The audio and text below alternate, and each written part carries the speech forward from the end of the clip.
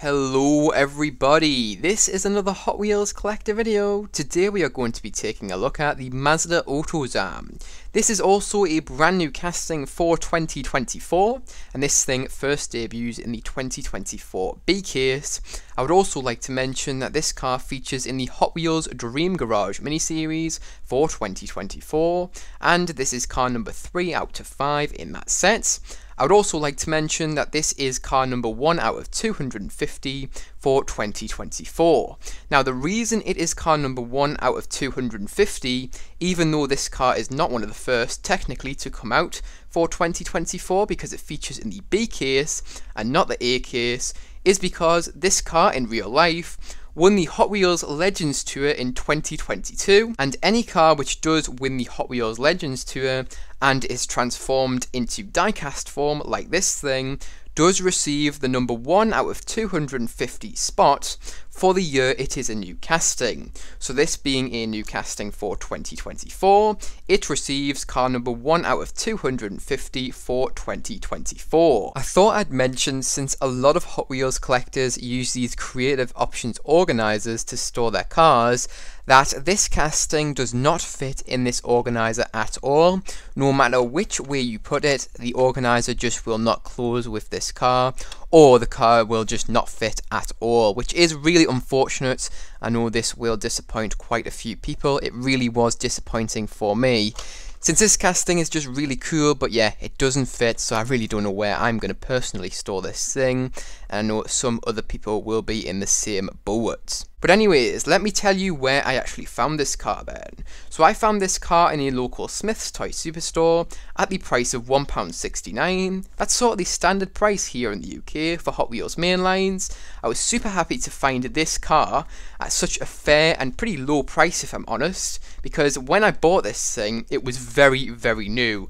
No other stores at all had had any of the 2024 B case, and I have had this car in my collection now for about a month. But yeah, on my trip to Smyth's, I found everything I wanted, so overall I couldn't have been happier. But anyways, let me give you some facts about the real life car. So as I've already said, in real life, this thing won the Hot Wheels Legends Tour for 2022, and the real life car is a heavily modified 1992 AutoZam Scrum and was built by Craig Maux. The Mazda AutoZam Scrum is a K truck and was sold exclusively in Japan, and the first model was produced with a 550cc engine, that's about 0.5 litres in displacement, and this engine produced 51 horsepower. However, this engine was quickly replaced in only 9 months and it was replaced with a more powerful 660cc engine, which also produced an extra 13 horsepower, bringing that horsepower figure to 64 horsepower. And I would like to mention that this 660cc engine was a 3-cylinder DOHC design. I would also like to mention that this car was available in both four-wheel drive and also two-wheel drive when it was new, and this Texas Toot monster truck is the four-wheel drive model.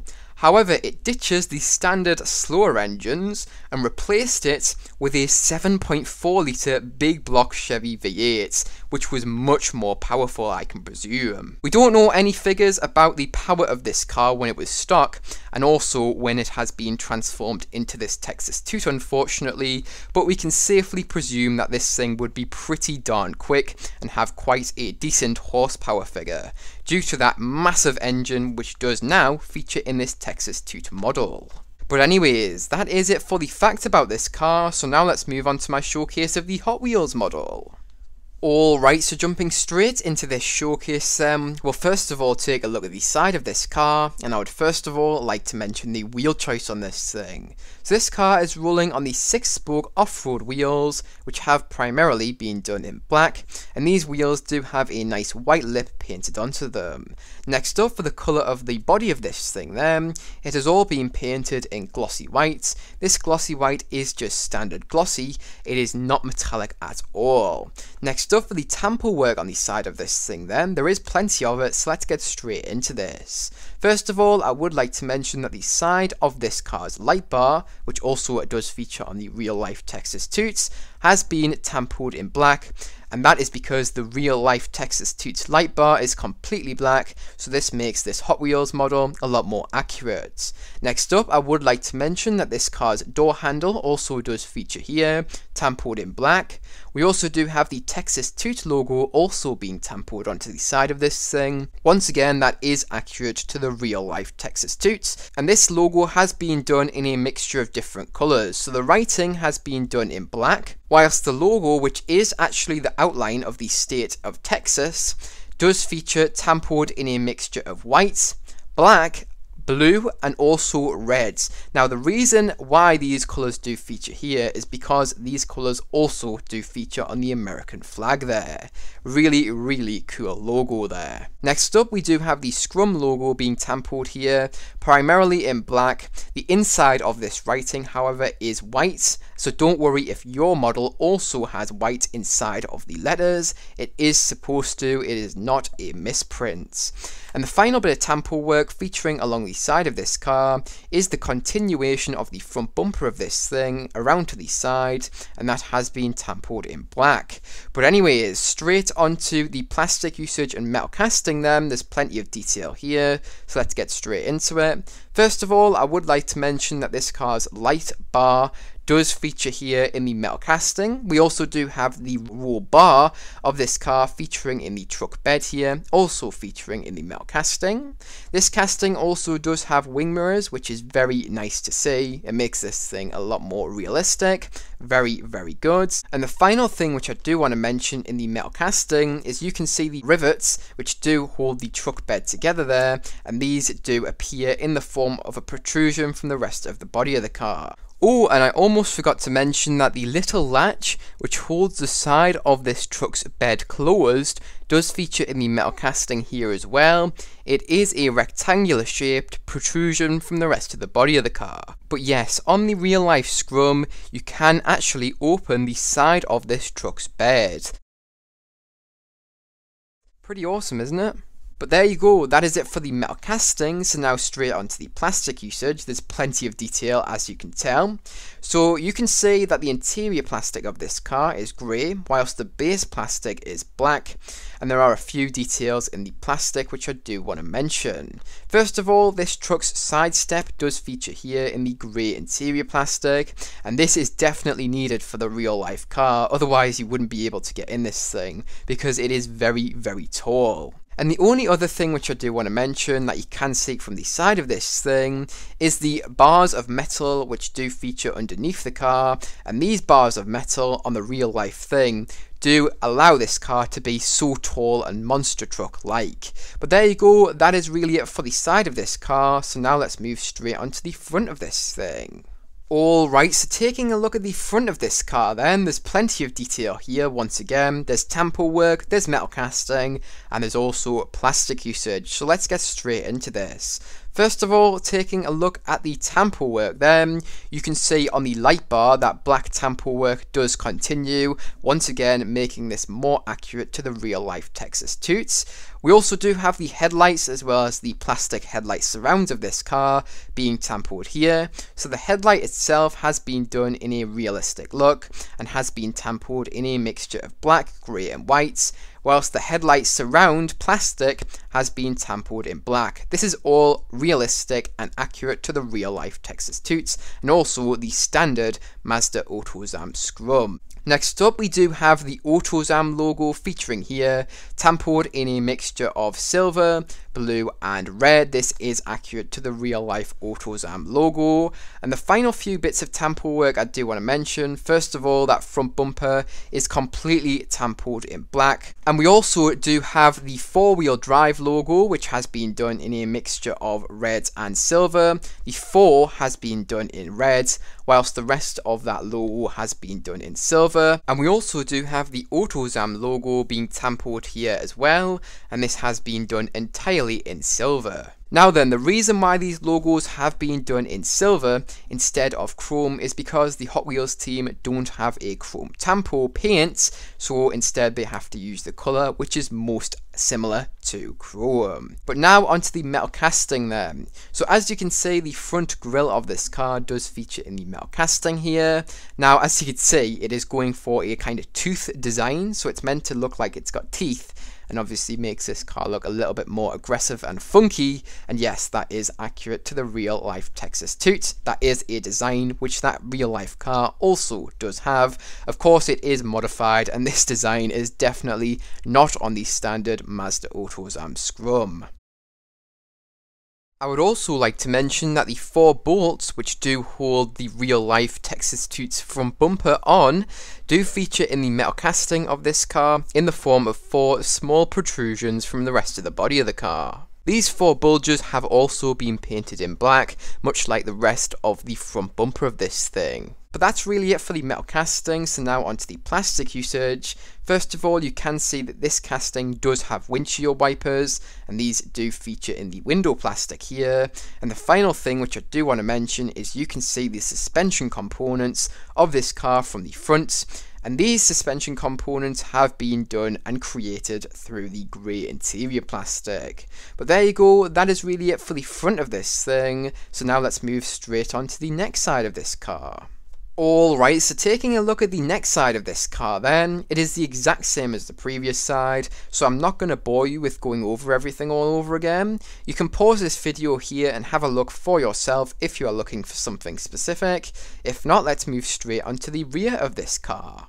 Alright, so taking a look at the rear of this car then, there is no tampo work here, but there's plenty of detail in the form of metal casting, and also plastic usage, so let's get straight into this. So first of all, let's talk about the metal casting. So first of all, you can see that this car's rear lights do feature in the metal casting in the form of a protrusion from the rest of the body of the car. You could easily add your own details to these rear lights using something like Sharpie or acrylic paint. And the final few things which do feature in the metal casting of this truck's rear is first of all we do have the continuation of the rivets around to the rear of this car. Once again these are a circular protrusion from the rest of the body of this car. And I would also like to mention that the latches for this truck's bed do also feature here, once again in the form of a protrusion from the rest of the body of this car.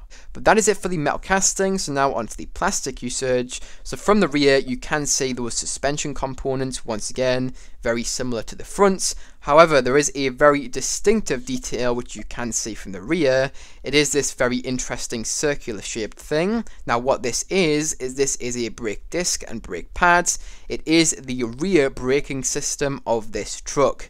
So yes, I did have to look this up. I had to look at images of the real life Texas Toots. But yes, that is what that is. But anyways, that is really it for the rear of this car then, so now let's move straight onto the top of this thing. Alright, so taking a look at the top of this car then, the detail does not stop yet. First of all, you can say that this car's a big block Chevy V8 engine does feature in the truck bed of this thing, and it does feature in the metal casting here. It's surprisingly detailed if I'm honest really it does look very accurate and honestly I have no complaints really good job from the Hot Wheels team on modelling that engine as I say, I'm surprised at how good it is. The final details which I do want to mention do feature in the truck bed and have been created through the window plastic which is slightly tinted. So first of all, you can see two NOS bottles. Yes, in real life, this K monster truck is nitrous powered. So yeah, really, really cool. And we also do have three air horns in this truck's bed as well. And that is where this car in real life gets the name Texas Toot from. And here is a better look at the front of this truck's light bar. As you can see, all the individual lights do feature in the metal casting here in the form of a protrusion from the rest of the body of the car, and these are circular as you would expect. However, they do not receive a tampo work. Oh, and I would like to mention that this truck is right-hand drive. I would also like to remind you that the interior plastic of this truck is grey. And finally, you can see this pillar, which does feature inside of this truck's cab. The reason that, that is there is simply because Mattel are forced to put that there uh, because of health and safety regulations. Yeah, it does look pretty ugly, but uh, Hot Wheels and Mattel are forced to put that there. But that is it for the top of this car, and that is also it for my showcase of this thing. So now let's move on to my final thoughts and review on this car. Alright, so now it is time for my final thoughts and review on this thing. Honestly, this casting has surprised me. Before I had it in my collection, I honestly wasn't looking too much forward to this thing, but now I have it, it's actually really, really good. There's plenty of detail here, in the form of plastic usage, metal casting, and also tampo work. But I'm going to quickly run through what I actually like about this car. So first of all, I like the colour. It is accurate to the real life Texas Toots, which is always a great thing. Next up, I just love the casting. This casting is very accurate to the real real life Texas Toot, which again is really good. I also really love the tampo work here. It's definitely plentiful and does the job very well. I would also like to mention that this casting, as I've already said, does have wing mirrors and windshield wipers and both of those small details being there is just a great thing and will affect my score at the end of this video in just a little bit very positively. It just makes this car look a lot more realistic and complete in my opinion. And the final thing things which I do want to mention, as I've already said, the plastic usage is great, and the wheel choice here is also really rather nice. I do think that these wheels do suit this car very nicely and do give this car a monster truck look, which is exactly what it is going for, since the real life Texas Toot is also a miniature monster truck. But anyways, that really leads me onto my score out of 10 for this monster truck. So what am I going to give it out of 10? It is going to be receiving a totally deserved 9.5 out of 10. It's just so fantastic. It's very accurate to the real life Texas Toot. And overall, I really don't think the Hot Wheels team could have done any better of a job on this thing. It's really not missing any details, to be honest. I really don't think it needs to go to premium, as the only thing which is missing in terms of tampo work is the rear lights. It's really, really awesome and a really nice mainline. Tons of details, you will not be disappointed.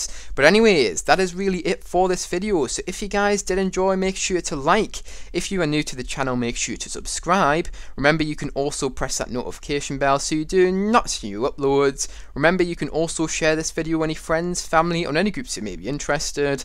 But remember, don't feel pressured to if you don't feel like you have anybody who may be interested. You watching this video all the way to the end means so much to me, and I really do thank you for making it all the way up until this point. But anyways, that is really it for this video, so I hope you guys did enjoy, and I really do hope to see you guys in the next one. Bye bye everyone.